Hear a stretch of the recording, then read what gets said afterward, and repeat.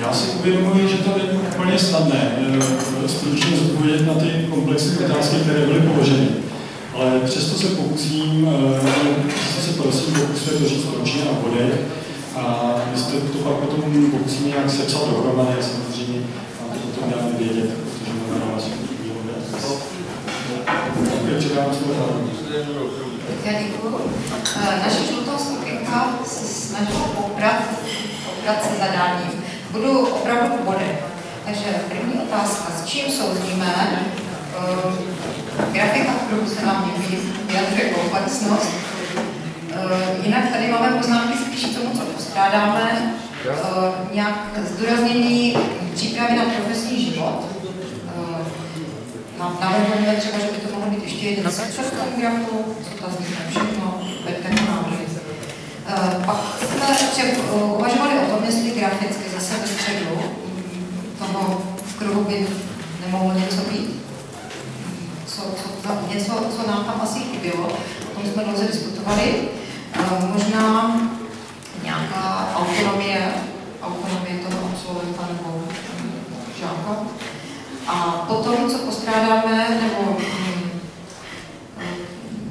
co, co padlo k tomu procesu vlastně sdílení té vize, že eh, v té skupině by měli být určitě také studenti a plus lidé ze skupin, tak jak jsou tady už, eh, které, které myslí trošku jinak než lidé z neziskovek, třeba environmentálních nebo rozvojových. Za problematické jsme považovali eh, to, jak bude vize předávána, s jakým vysvětlením a komentářem, které, který bychom jsme se shodli, že, by asi nějaký měl být. Prostě jak bude uvedena do života. A problematické také se ukázalo v naší skupince, že velmi různě vnímáme uh, slova, která jsou hm, jako vyjádření těch kompetencí, jako třeba otevření.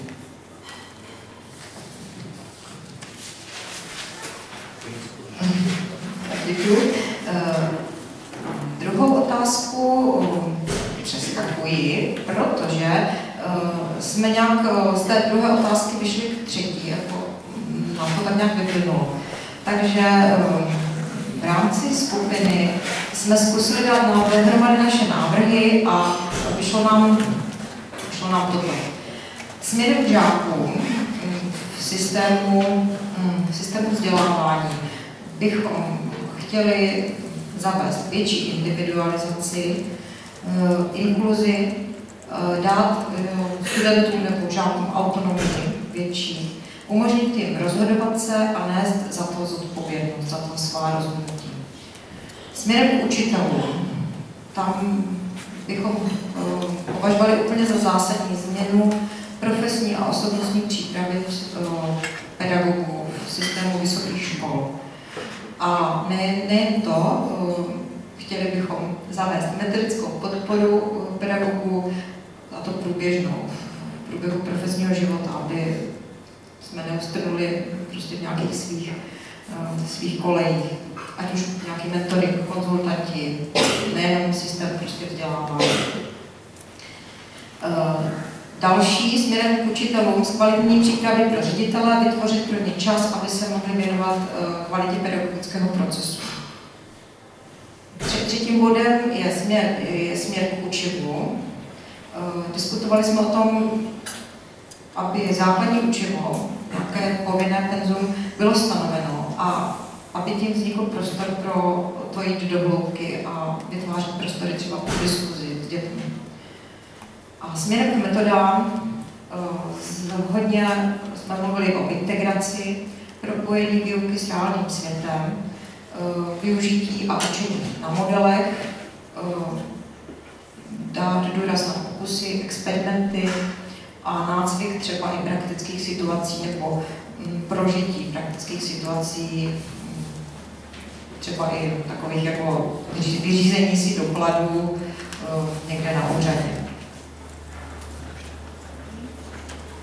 A čtvrtá otázka, eh, jaké vidíme překážky? Ehm, nemáme tu napsanou žádnou, protože my jsme se zaměřili na to, co můžeme udělat my osobně, tak uh, padlo toto. Stát se učiteli, uh, vytvářet sociální tlak například jako rodiče na to, aby eh, vzdělávání mělo ty atributy, které si představujeme. Jako vzdělávatel učitelů sbírat příklady dobré praxe a šířit je dál.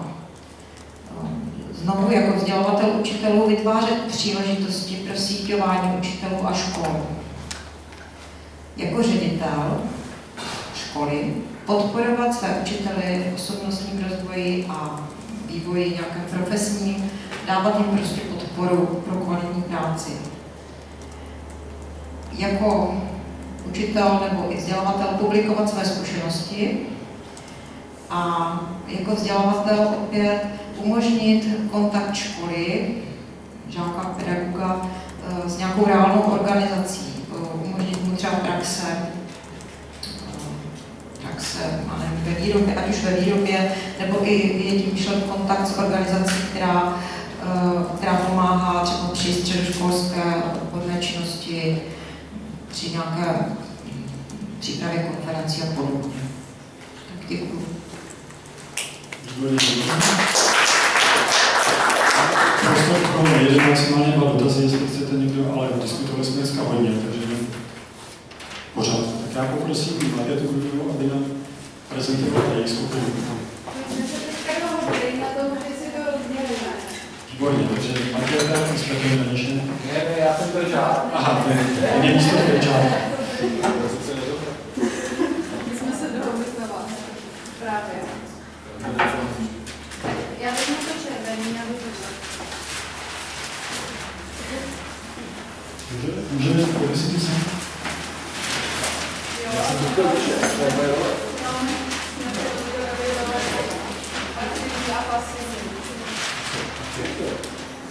Experimentujeme.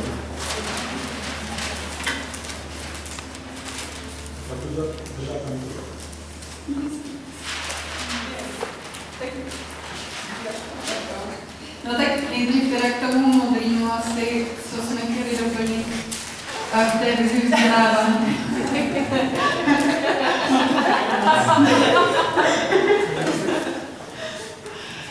K té vizi vzdělávání nám to jako vize, všichni jsme se shodli na to, že to jako vize je parádní a chtěli bychom k tomu dodat i časovost a zařazení potom do praxe, s čím se asi jako počítá, na to jsme se taky všichni shodli. Um,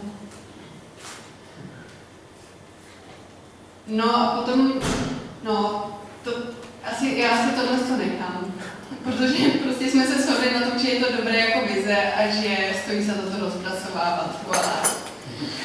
Um, no a potom, kdybychom se měli podívat na shrnutí toho, co bychom udělali pro české školství, tak kdybychom to, kdybychom to vzali jako příběh, tak my bychom chtěli, aby, aby školství a vzdělávání bylo jako společenské téma, kde ve středobodem bude, uh, bude žák a všichni jako společnost se uh, shodneme a budeme usilovat o, o jeho rozvoj. No a potom k tomu rozvoji budeme potřebovat pedagogy, kteří budou dobře podporovaní, kteří budou mít dobrý background. background. Uh, no a k tomu jsme navrhli poradní orgán, kde by mohla existovat nějaká rada seniorů. Vy proto máte pojem, že jo? Já ne. Rada vzdělávání. No, nějaká rada která byla u ministerstva a měla určitá značná práva a e, dokonce by mohla jsme se bavili i mít nějaký vliv na volbu ministra a která by hodně zahrnovala jakousi směs prestižních osob, e, velmi často e, reprezentujících firmy, stakeholders, tedy ty důležité instituce společenské, protože takhle jsou tam přivádění ministři na základě stranických klíčů a velmi často, když se podíváme zpátky, tak nemůžeme říct, že by to bývaly byly šťastné roky. No, tak je taková ta oživená myšlenka toho, jak tam měl být jmenovaný pan Klaus, tak za jiný, jiný jak vlastně strukturovat, nechat se inspirovat třeba zahraničí, kde ty rady fungují a mít tam takový podpůrný mechanismus, který bude pravomoce, nebo to jenom No a tím se dostáváme k dalšímu bodu a právě to, že bychom chtěli, aby náš, náš školský vzdělávací systém si bral to nejlepší ze zahraničí, ale i z naší praxe. A chtěli bychom takové jako evidence-based školství, kde by se vybíraly opravdu ty nejlepší ověřené metody a uváděly potom život. No a těmi metodami je například podle našeho názoru propojení s reálným světem, na A potom bychom chtěli taky větší podíl dítěte eh, na vzdělávání, na tom, aby se dítě rozhodovalo, eh, o čem se chce učit a kdy se to chce učit. Tím si to víc eh, osvojí a bude usilovat za, za tím svým cílem taky. Nejenom, že to bude náš cíl o něm, ale jeho cíl o něm.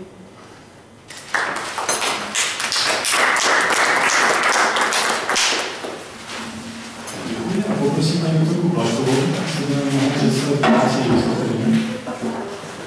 Paní dotaz?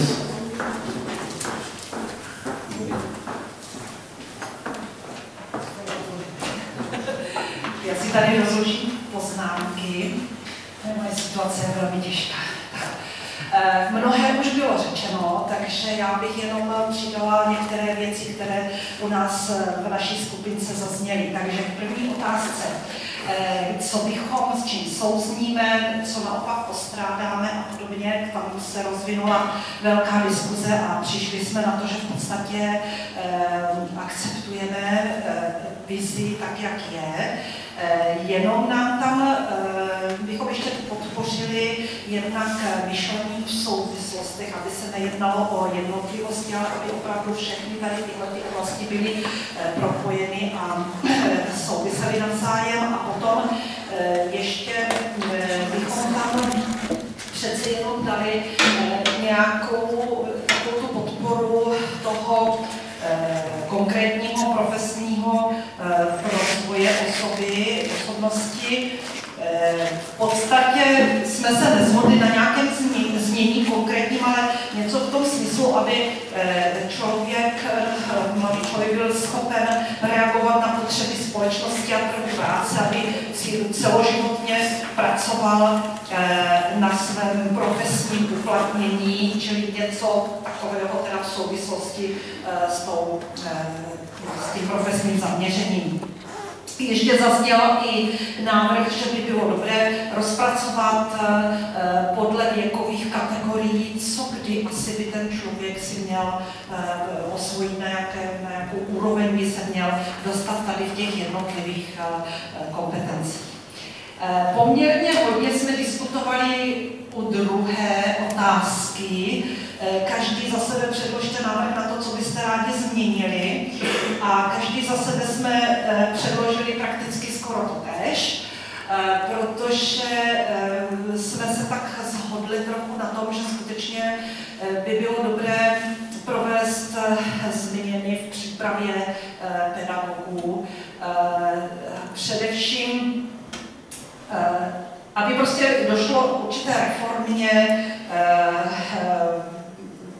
přípravě na pedagogických fakultách, aby skutečně eh, se hm, dostalo více praxe a praktických zkušeností adeptům na učitelské povolání.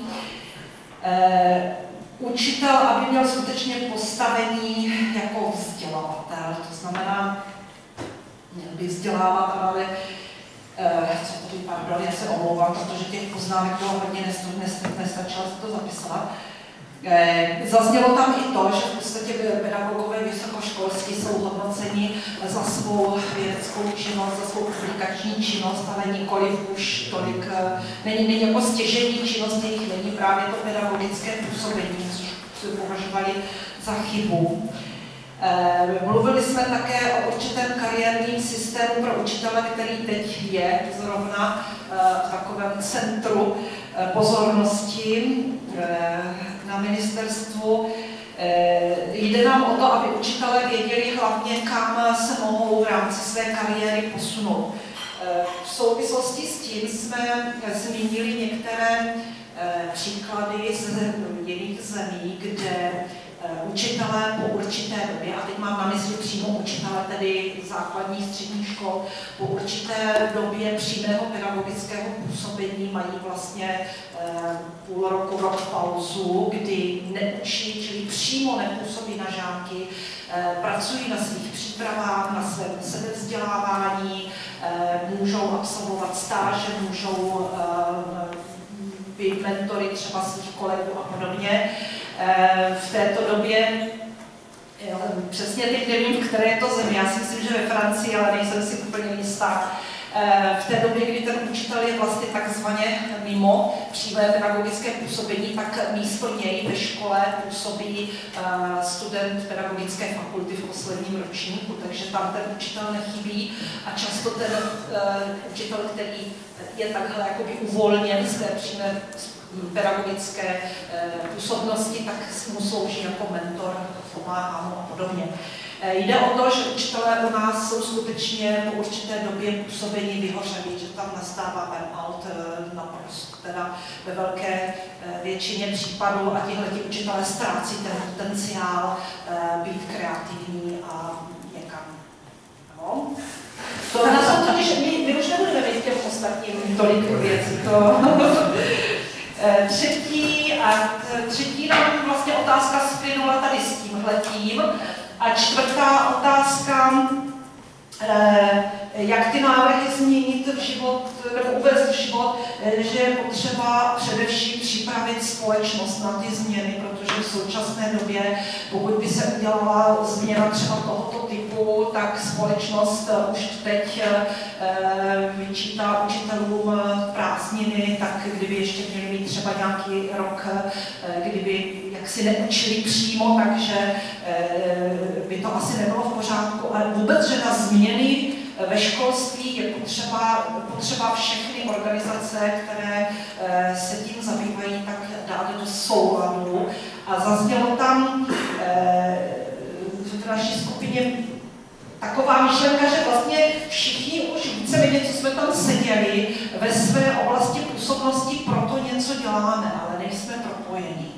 Takže e, snažit se koordinovat činnost jednotlivých účastníků, jednotlivých organizací, které, což se už teď začíná dít, že jo, neziskové organizace, uh, třeba jako NIDV, Národní ústav vzdělávání a další a celá řada vás tady vysoké školy. Tak, uh, nevím, jestli se mě podařilo říct úplně všechno, co jsme tam, ta diskuze byla bohatá, ale to je základ vaší myšlenek.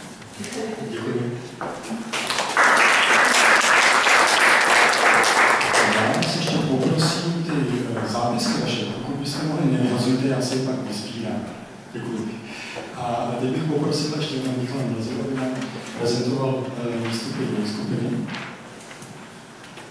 Tak naše skupina rovněž souhlasila, že vize je zpracovaná v podstatě dostatečně, ale přesto pár připomínek jsme měli, nebo připomněk, spíše doplnění. A to sektoru svědom, sebevědomí, že by bylo potřeba, aby nejen člověk sám poznal sebe a měl sobě sebe úctu, ale taky, aby znal své schopnosti, své silné stránky, které rozvíjí, a pak taky znal své slabé stránky. Pak u zakotvenosti nebo zakotvení jsme doplnili, že by člověk měl být zakotvený taky sám v sobě, že by uměl zacházet sám se sebou i se svým tělem, že by se pěstoval. Další doplnění bylo tedy taky v tom sektoru zakotvený, že člověk vnímá sebe sama jako součást lidského společenství, přírody a světa, ale to vnímá sebe bylo pocitováno v vaší skupině jako neúplně dostatečné a připojili jsme k tomu, že se ještě chová v souladu s tím, či ne, že se vnímá jako součást lidského společenství a tak dále, ale taky, že se v souladu s tím chová. A potřední, poslední doplnění to bylo sektoru angažovaný, že člověk je angažovaný, tak, pardon, že člověk je odpovědný za výsledky. Tady původně psáno, že odpovědně se rozhoduje, což se nám tak zdálo, že je ještě neúplné a dodali jsme k tomu, že je odpovědný i za výsledky svého rozhodování, svého konání. Na poslední doplnění to bylo doplnění do celého toho kruhu, že by možná uprostřed mohl být ještě samostatný takový sektor, který by doplnil ty čtyři charakteristiky sebevědomí, zakotvený, angažovaný, otevřený o, o pátou, která všechny ty čtyři nějakým způsobem spojuje, a to je, že je člověk znalý světa. Znalý sám sebe, znalý prostředí a tak dále. Či znalý světa. A ještě jenom se pardon. Ve sektoru otevřený. A to jsme se nebyli jestli kam to doplnit, ale tady ta charakteristika stále se učí něčemu novému, se zdála nám, že by bylo potřeba taky doplnit, aby člověk znal i něco z historie a z dřívějších zkušeností, aby je uměl využívat. Tolik si k vizi. Těm dalším bodům, myslím, že navázat na to, co už tady bylo řečeno. Především jsme mluvili o tom, že je potřeba změnit vzdělávání budoucích učitelů. A to po obsahové stránce i po formální stránce, koncepční, že je potřeba se dívat na budoucí učitele jako na jedinečnou osobnost, což asi na pedagogických fakultách vůbec přípravě učitelů chybí. A zaměřovat se na rozvoj osobnosti budoucího učitele. V podstatě jsme vycházeli z toho, že vize vzdělávání je určená pro je určená pro žáky, studenty, kteří na konci toho vzdělávání vystupují z tohoto procesu. A je to už tady bylo řečeno, že takový by měli být i učitelé. A aby takový učitelé mohli být, tomu je potřeba přizpůsobit vzdělávání budoucích došli závěr, že je potřeba ještě změnit vztah ke vzdělávání obecně, nejen ve školách, ale ve společnosti, že se mluví na vzdělávání jako na cestě dosažení nějakého diplomu, ale nikoli k tomu, aby člověk se něco skutečně naučil, co potom potřebuje, co už potřebuje v tom samotném životě. Další návrh se týkal změny hodnocení žáků a jejich vzdělávání. Návrh zapojení rodičů do vzdělávání ve školách, je potřeba zlepšit komunikaci s rodiči. A pak že potřeba zapojit žáky do samotného procesu vzdělávání, uplatňování projektového vyučování, kooperací mezi žáky. A dále, že je potřeba využít efektivně finance, které do školství přicházejí. A také, že je potřeba propojit vzdělávání s praxí. Jak tohle všechno zrealizovat, na to jsme pořádně nepřišli, ale když diskutovali jsme dál, přišli jsme k tomu, že by bylo dobré, aby se ideje dostávaly učitelům, z, možná z půry, ale učitelům, co by rovnoceným partnerům, aby to nepřicházelo jako direktivům. A další cesta, jak dostat dobré informace do veřejnosti, tak je potřeba ovlivňovat rodiče a očekávat, že potom rodiče budou působit na učitele, tím pádem se bude vzdělávání zlepšovat. Pak by bylo potřeba taky posílit vzájemné sdílení mezi učiteli, využívat příklad dobré praxe a to asi tak všechno. Děkuji. Děkuji všem pracovním skupinám. Myslím, že tady byl silný akcent na uh, potřebu hlavně soustředit se na učitele, individuální přístup učitelů i žáků a na systémové změny. My se to pokusím potom nějak smysluplně schrnout, respektive ještě máme zašlení. Uh, nyní bych si dovolil ještě dát slovo čtyřem posledním velice stručným slibovým příspěvkům. Ano, mohl jenom, jenom, že jsme zapomněli možná zmínit, když se mluví o vzdělávání budoucích učitelů, tak se pomíná na vzdělávání ředitelů. protože chybí kariérní řád pro ředitele, je tady pouze pro učitele, takže je to opožděný a chybí ještě vydefinování v dokumentech standard vůbec kvality učitelské profese. Takže první měl být standard učitelské profese, potom měl být kariérní řád ředitelů, učitelů, ředitelů zatím chybí pracovní. Dobře.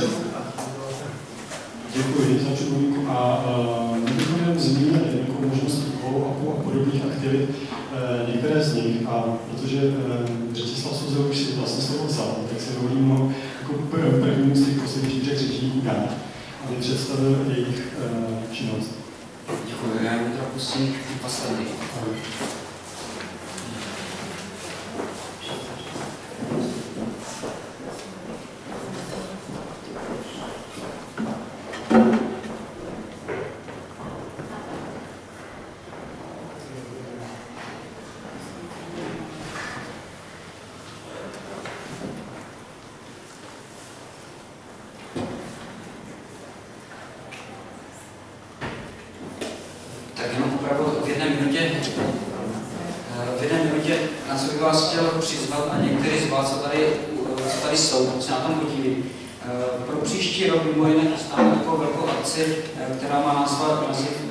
Space, eh, to Space je tam z toho důvodu, že se bude jednat o akci, která bude probíhat jednak na univerzitách, jednak na prostranství, v parcích, v divadlách, v kavárnách, hospodách, na různých dalších místech, ten Space. A to SPA je zdůrazněné, že se snažíme, aby to byly určité vlastně lázně, to znamená, aby to nebylo jen o vzdělávání, ale i o zábavě, abychom byli schopni spolu něco tvořit. Eh, tak to eh, bude v 2016. Proč to vlastně děláme?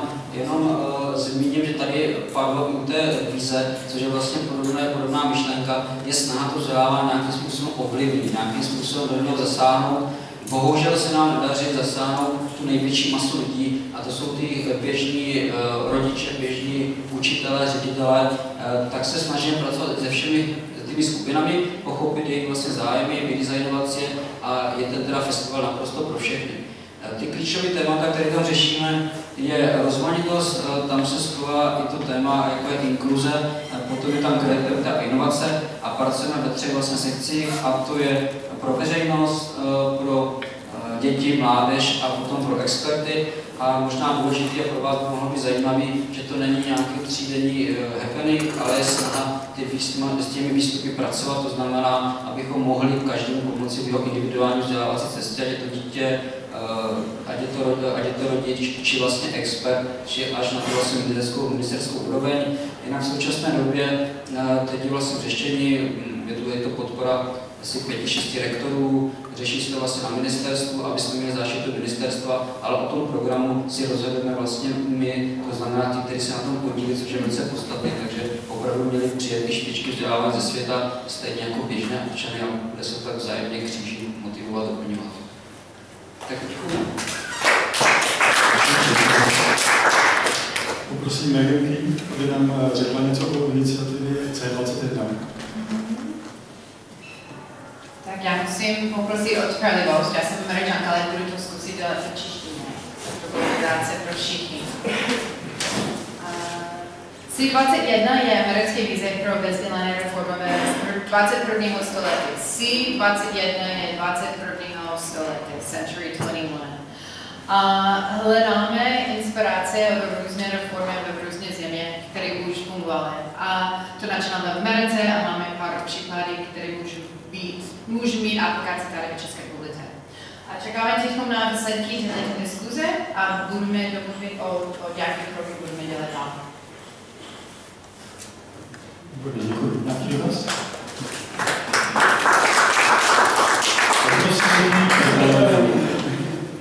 Jestli by nám mohl říct něco o širších souvislostech eh, této vzdělávací vize a kampaně možná měsíc světu, co se tam Děkuji Martine, vlastně děkuji vám všem za eh, účastný den. Já jsem teda naskočil trošku, trošku později, ale eh, vyloženě si užívám, že jsem tady dneska jenom jako, jako naslouchač, jako posluchač, který eh, vlastně jako nasává ty zajímavé nápady na tu, na tu atmosféru a si myslím, že je tady, že je tady bezvadná. Eh, já vlastně jsem eh, tady jenom proto, abych stručně zasadil tu aktivitu do takového širšího kontextu toho, co se děje v rámci tzv. Evropského roku rozvoje. Většina z vás asi ví, že na podzim roku budou přijaty tzv. cíle udržitelného rozvoje. A my jsme se vlastně tentokrát v České republice rozhodli uh, už trošku jako prakticky aplikovat to, co máme obsažené v té vizi. To znamená nečekat na to, co přijde z toho globálu sem k nám do toho lokálního prostředí, ale začít uh, už teď přemýšlet nebo s předstihem přemýšlet o tom, co je vlastně ta naše vize světa České republiky. A pracovní skupinka pro vzdělání, která je jedna z těch tří, které v rámci tohoto procesu spolupráce mezi ekologickými, rozvojovými, vzdělávacími, ale také třeba genderovými, lidskoprávními a dalšími organizacemi eh, vznikla, si myslím, že došla, došla nejdál. Jana, Jana potom ještě trošku asi promluví o tom, jak to bude, jak to bude dál. Eh, já vlastně chci jenom říct, že tady existují ještě další dvě, eh, když to tady možná na začátku zaznělo, nezaznělo, tak jsem si ale tu jsem tam viděl, možná jste si všimli, že takové to spojené ruce měj se k světu. Takže to je vlastně to, na čem pracuje ta pracovní skupinka pro osvětu, která se snaží nějakým způsobem při, přinést tuto, toto poselství k veřejnosti a teďka hledáme různé nástroje a cesty, jak to udělat, co je to vlastně jako grafická podoba, která by ale měla nést obsah, nějaký obsah. A ten obsah se připravuje v té třetí skupince, které říkáme policy, která se vlastně jako zabývá sběrem požadavků těch eh, skupin a jejich eh, formulací v rámci společného manifestu, který se v tuto chvíli eh, chýlí ke konci. Já doufám, že do konce školního roku ho budeme mít hotové. My jsme měli klidné prázdniny, tak jako vy všichni tady byla řeč o těch eh, klidných prázdninách a e, bude doprovozet ten manifest e, jakýmsi příběhem. Já už jsem o tom mluvil třeba s Jaroslavem Andělem, že jsme byli rádi, aby to mělo tu opravdu chytlavou, chytlavou formu, takže skrze, skrze vlastně jako e, Janu Martina a další se určitě ty materiály dostanou, dostanou k vám a já myslím, že se to hezky potká, že vlastně ta vize, kterou vy, vy tady vytváříme, my tady společně vytváříme, bude, bude zajímavá a učí idea i vlastně pro tu trochu širší vizi, kterou se tady snažíme s těmi nevládními organizacemi vytvořit pro Českou republiku celkově, nejenom v oblasti vzdělávání, ale i v dalších oblastech. Takže uh, budete, budete vítáni, pokud se do tohoto procesu uh, zapojíte a ještě jednou uh, děkuji za hezký, hezký den. Děkuji. Úplným závěrem předávám slovo kolegyni Janě Dlouhé. Já vám už asi jenom na závěr poděkuju, protože samozřejmě ten den byl těžký pro, pro nás i pro vás, ale e, moc vám děkuji, že jste přišli a že jste se do toho nějakým způsobem zapojili. Vlastně, takže já se budu poslouchat. E, já to jen tak velmi stručně zrekapituluju. E, co jsme asi tak dneska udělali, tak e, podívali jsme se do budoucnosti. Podívali jsme se do budoucnosti vlastně světa České republiky a budoucnosti vzdělávání. Zdá se nám, že vlastně tento pohled ve vzdělávacím systému není až tak obvyklý, takže z tohoto důvodu jsme vlastně připravili vizi a chceme o ní dále diskutovat. Viděli jsme také, jak k této naší vizi v budoucnosti přistupují různé skupiny.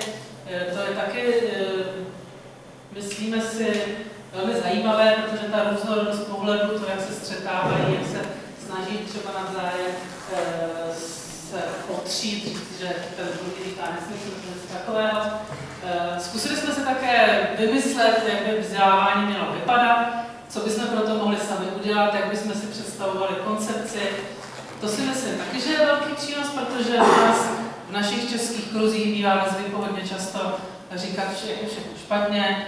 Eh, když se řekne, co se vám nelíbí, tak je hned spousta ohlasů ale to pozitivní myšlení tady pořád chybí a to i ve školství, tak my jsme si to tady zkusili pozitivně, to nějakým způsobem táhnout dopředu. No a co nás čeká, to se mi právě líbilo, jak tady někdo řekl, nutná bolest změn. Eh, co bude následovat bezprostředně, tak eh, se píšeme zápis, materiály, které tady schromáždíme, prezentace dáme na web, bude tam video, natáčíme celý eh, proces, fotky.